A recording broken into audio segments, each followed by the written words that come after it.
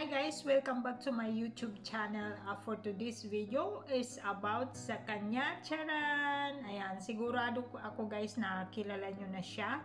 Ito yung uh, nag-viral dahil sa kanyang nakakaaliw na pagbibinta ng mga damit online. Ang pangalan po niya ay si uh, Madam Inuts. Tapos uh, meron siyang uh, Facebook page guys na Daisilicious Ukay. Ayan, ang dami niyang followers doon. Siguro mga mahigit 1 million followers yung, yung Facebook page niya. Ayan, um, napanood ko yan siya guys dahil uh, may nag-send ng link sa akin. Uh, shout out sa iyo, uh, Native Food Discovery. Ayan, maraming salamat at uh, sinend mo sa akin yung link niya. Hindi ko siya napapanood kasi um, bihira lang kasi din ako nag-Facebook.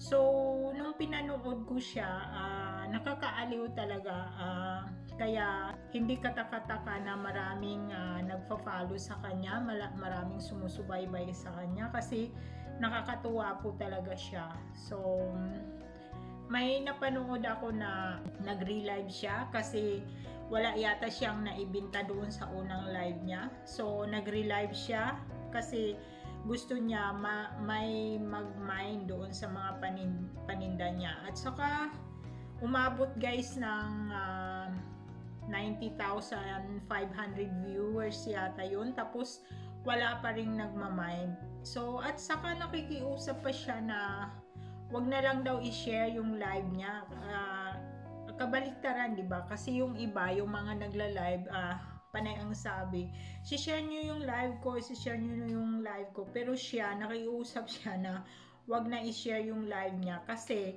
kakabukas pa lang daw niya ng live niya, uh, umabot na ng 4,000 viewers. Ayan. So mga sa sobrang daming uh, naaaliw sa kanya guys, um, wala, uh, nakatambay lang doon, uh, hindi bumibili ng mga paninda niya kasi nga naaaliw lang sa kanya. So yung iba, uh, nagbibigay na lang ng pera sa GCash niya. Ayan, kahit nga um, hindi na bumibili ng damit pero nagbibigay ng pera kasi nga uh, tutuwa sila sa kanya. So, ka- kaso lang, uh, sayang lang yung, naman sayang, um, kasi hindi naman sana niya kailangan kasi guys kung hindi niyo alam uh, pumirma na po siya sa sa Star Image. Ayan. So, maraming nagsasabi na um, dapat hindi na siya pumir pumirma doon kasi kaya naman niyang pasikatin yung sarili niya mag-isa at saka hindi na niya kailangang magpahawak doon sa star image kasi marami ding nagsasabi na hindi sila maganda humawak ng uh, mga artista nila. So mar- marami akong nababasa mga negative uh, comments about sa sa star image.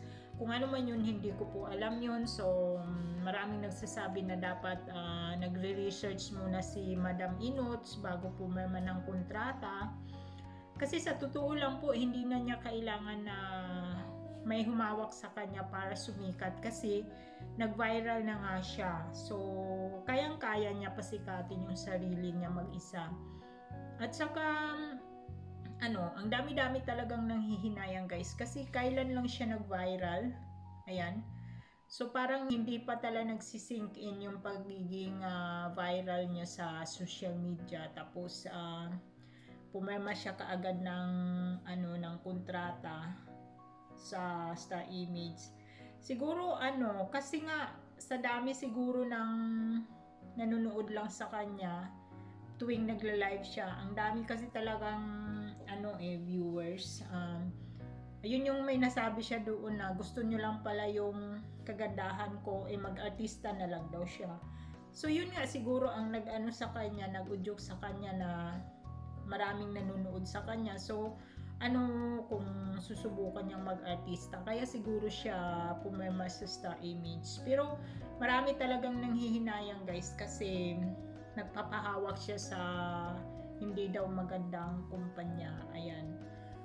So, kahit ako uh, nalulungkot dahil sa nagpapahawak siya kaagad doon sa star image. Ah, pero nandyan na yan. Ah, sana magiging masaya lang siya sa naging desisyon niya. At saka kung hindi man, so kung ano man yung napagkasunduan nila ng star image, kung tatapusin ba niya talaga yung kontrata na yon so tatapusin na lang niya yung kontrata kung hindi kung hindi man siya masaya sa sa star image so pwede naman siyang bumalik doon sa kung ano yung pinagsimulan niya kasi doon naman talaga siya nakikilala. So walang masama doon. Um, pero sana lang magiging maganda yung paghawak ng star image sa'yo at saka sana magiging masaya ka. Ayan so ah, yun na lang. Good luck na lang sa sa iyo Madam Inots at ah, God bless sa iyo ayun po sana magiging masaya ka sa pinili mong ano ah, desisyon at saka yun po maraming maraming salamat sa panunood at saka please do subscribe po to my YouTube channel para huwag niyo pong kalimutang magbigay ng thumbs up sa video ito ayan Maraming maraming salamat po. Ah, God bless us all. Bye-bye.